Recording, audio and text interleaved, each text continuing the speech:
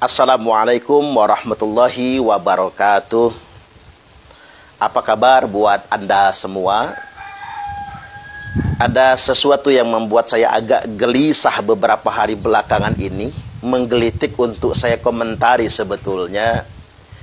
Yakni wali kota dan wakil wali kota Cilegon menandatangani petisi penolakan pendirian gereja Padahal sebetulnya masyarakat desa bersama aparat desa di desa yang bersangkutan sudah menyetujuinya.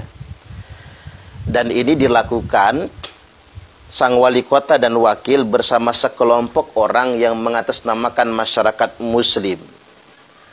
Saya cuma ingin menegaskan ini perbuatan yang sangat memalukan dan mencederai ajaran Islam itu sendiri.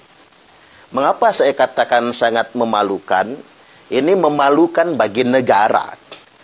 Karena yang menandatangani petisi ini bukan orang sembarangan, yakni penyelenggara negara. Wali kota dan wakil wali kota yang dipilih oleh rakyat. Ini kan betul-betul memalukan bagi sebuah negara demokrasi, negara kesatuan Republik Indonesia ini. Dan yang kedua saya katakan mencederai ajaran Islam itu sendiri. Karena pada kenyataannya Islam tidak pernah melarang umat agama lain untuk mendirikan rumah ibadah. Coba carikan nasnya. Carikan dalilnya dalam Al-Quran. Atau nas-nas yang lain. Yang menunjukkan bahwasanya Islam bersifat arogan, bersikap ekstrim, seolah-olah dia ingin hidup sendiri dan tidak bisa mengayomi agama lain. Tidak ada satupun dalilnya. Maka karena mereka sudah mengatasnamakan kelompok muslim, saya menganggap ini mencederai ajaran Islam. Merusak wajah Islam yang rahmatan lil alamin. Dan kurang lebih bisa saya katakan juga ini bentuk penistaan terhadap ajaran Islam itu sendiri. Karena mereka mengatasnamakan agama untuk menandatangani petisi tersebut. Kan yang jelas sebetulnya Islam tidak pernah melarang umat agama lain untuk mendirikan rumah ibadah. Bahkan kita mendengar riwayat perjanjian yang sangat terkenal antara Rasulullah sallallahu alaihi wasallam dengan Bani Najron di mana Nabi sallallahu alaihi wasallam berkomitmen untuk melindungi umat Kristen Bani Najron beserta seluruh rumah ibadah mereka. Riwayat ini kan banyak dinukil dalam kitab-kitab terkemuka. Bahkan Imam Tobroni, termasuk Ibnul Qayyim Al-Jauziyah misalnya. Bahkan kalau Anda semua ingin searching di Google, mudah sekali mendapatkan teks aslinya maupun terjemahan yang sudah populer. Cobalah kita membaca ulang, jangan menjadi arogan. Nabi SAW telah menulis surat yang bunyinya begini. Najron, Kristen, dan kelompoknya umat Kristiani di sana serta semua penganut agama Nasrani di seluruh dunia. Bahkan kalimatnya di seluruh dunia. Dalam perlindungan Allah Subhanahu wa taala dan pembelaan Muhammad Rasulullah menyangkut harta benda, jiwa dan agama mereka. Baik yang hadir dalam pertemuan ini. Jadi ketika pertemuan Nabi saat berjanji dengan Bani Najron maupun yang gaib yang tidak hadir di masa itu hingga masa di kemudian hari. Artinya ini pesan wasiat juga buat kita umat Islam. Tidak hanya berlaku pada saat Nabi berjanji dengan Bani Najron. Tapi ini sikap umat muslim terhadap non-muslim, terhadap kaum Kristiani hingga akhir zaman. Yang hadir di sana maupun yang gaib.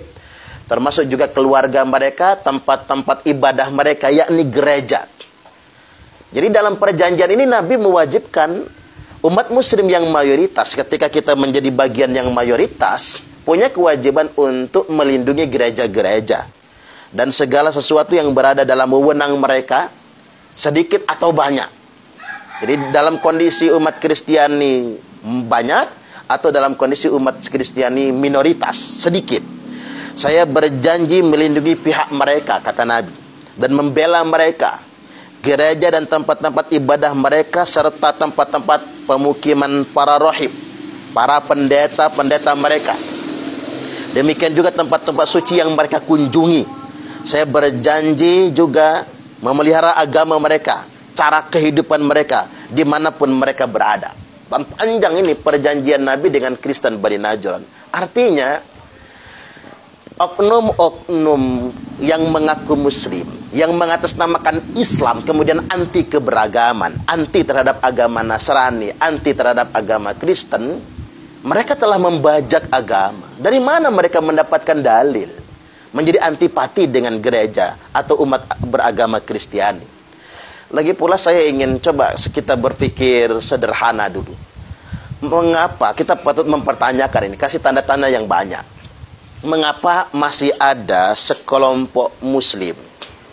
Saya pikir tidak mayoritas ini ya, sekelompok muslim yang kayaknya kok sentimen banget dengan agama Kristen.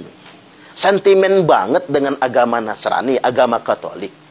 Kayaknya sentimen banget dengan gereja. Apa sih yang membuat kita menjadi iri? Apa sih yang membuat kita menjadi benci? Oh, kita sama-sama umat beragama.